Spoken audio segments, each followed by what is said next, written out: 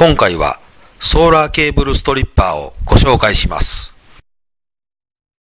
ソーラーケーブルとは、ソーラーパネルと接続箱をつなぐ配線に使われるケーブルです。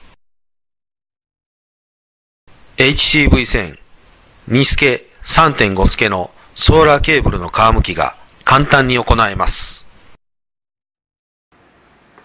電線をセットして外皮を脱皮した後、内皮を脱皮します。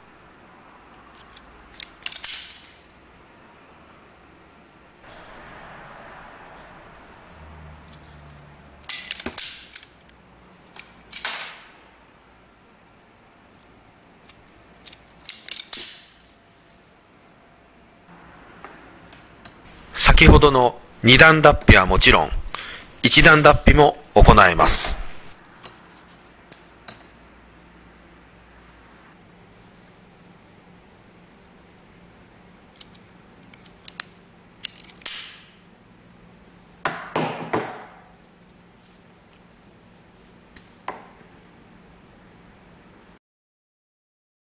脱皮穴の形状はご覧の通りです。